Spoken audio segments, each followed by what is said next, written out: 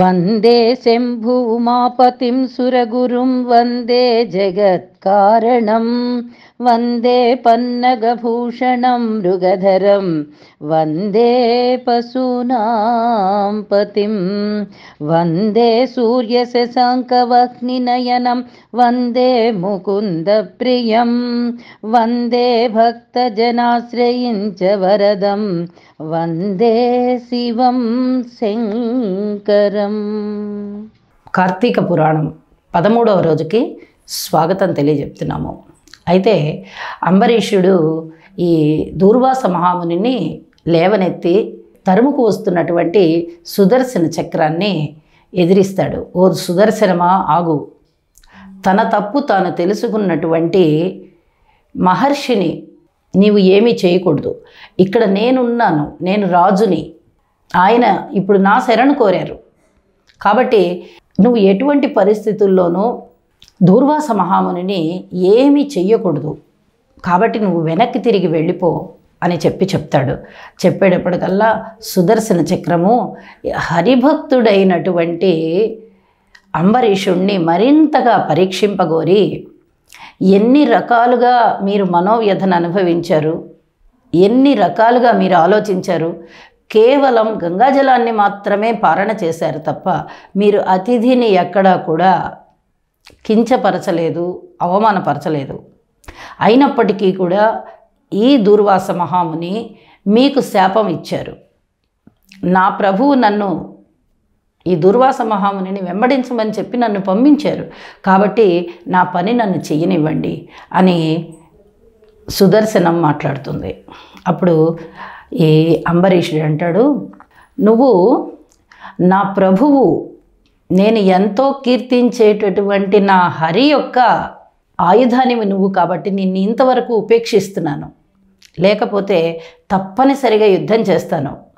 నువ్వు ఎట్టి పరిస్థితుల్లో వెనక్కి తిరిగి వెళ్ళిపోవాల్సిందే మహర్షికి హాని చేయడానికి వీల్లేదని కొన్ని బాణాలని ఆ సుదర్శన చక్రం యొక్క పాదాల దగ్గర సంధిస్తాడు.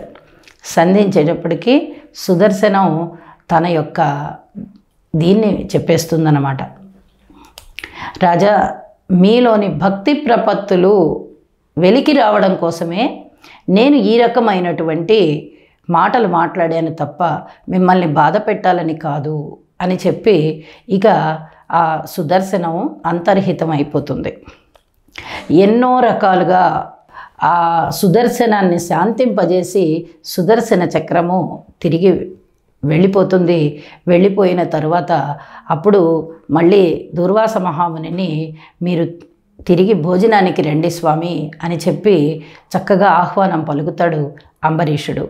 ఇక్కడ మనము అంబరీషునికి దూర్వాసునికి అలాగే విష్ణుమూర్తికి దూర్వాసునికి అలాగే సుదర్శన చక్రానికి అంబరీష్నికి మధ్య జరిగినటువంటి సంవాదాలు ఏమున్నాయో అవి ఇంకొకసారి తెలుసుకోవాలి అని చెప్పి కోరుకుంటున్నాము. మహాపాపాలు చేసినప్పటికీ కూడా ఏకాదశి వ్రతం చేసినట్లయితే ఏకాదశి రోజు పూర్తి ఉపవాసం ఉండి ద్వాదశి ఘడియలు వెళ్ళిపోకుండా భోజనం చేసినట్లయితే అమితమైనటువంటి పుణ్యం వస్తుంది. హరిభక్తి ఇనుమడిస్తుంది. వాళ్ళు ధర్మ జ్ఞాన వృద్ధి జరిగేవారు అవుతారు తపస్సులు అవుతారు తాపస్సులు అవుతారు ముక్తి మార్గానికి బాటలు వేసేటటువంటి దోవ ఈ ఏకాదశి వ్రతం. అలాగే ఎన్నో రకాలైన యోనులలో జన్మించవలసి ఉన్నది అని చెప్పి ఎప్పుడైతే ఈ అంబరీషునికి శాపం ఇచ్చారో ఆ శాపాన్ని తాను తీసుకున్నారు విష్ణుమూర్తి. తాను తీసుకుని సోమకుణ్ణి మట్టు పెట్టే విధంగా మత్స్యావతారము మందరగిరి పర్వతాన్ని చిలికేటప్పుడు పాలసముద్రాన్ని మధించేటప్పుడు ఆ మందరగిరి కింద ఏర్పాటు చేసేటటువంటి కూర్మంగాను బలిని అణచడానికి వచ్చినటువంటి వామనుడిగాను ప్రహ్లాదుని రక్షించట వచ్చినటువంటి ఆవిర్భవించినటువంటి నరసింహగాను అలాగే బుద్ధునిగాను రామునిగాను కృష్ణునిగాను పరశురామునిగాను ఇలా ఎన్నో రకాలుగా పది రకాలైనటువంటి అవతారాలనెత్తి భక్తుల కోసం శ్రీహరి తానే అవతరించాడు. ఇవే మనకి దశావతారాలు. ఈ దశావతారాల యొక్క కథని తెలుసుకున్న ఈ సంవాదాలని విన్నా ఈ అధ్యాయాన్ని చదువుకున్న విన్నా రాసిన చెప్పుకున్న అమితమైన పుణ్యం వస్తుంది అని చెప్పి సాక్షాత్తు విష్ణుమూర్తే తెలియచేస్తారు. ఈ సుదర్శన చక్రం ఎప్పుడైతే తిరిగి వెళ్ళిపోయిందో మళ్ళీ తిరిగి ఆహ్వానింపబడిన వాడే దుర్వాసుడు భక్తిపూర్వకంగా అంబరీషునితో చెప్తాడు. నా ప్రాణదాతవి నువ్వు. ప్రాణాలు కాపాడినటువంటి వాళ్ళు తండ్రితో సమానం. అటువంటి తండ్రి నువ్వు. కానీ నీకన్నా వయస్సు రీత్యా నేను పెద్దవాడిని కాబట్టి నేను నీకు నమస్కారం చెయ్యకూడదు. కాబట్టి రాజా నేను నమస్కారం చెయ్యకూడదు కాబట్టి నీకు నేను చెయ్యడం లేదు. కానీ నువ్వు నాకు తండ్రితో సమానమైన వాడివి అని చెప్పి ఈ అధ్యాయాన్ని ముగిస్తున్నారు సూత మహర్షి.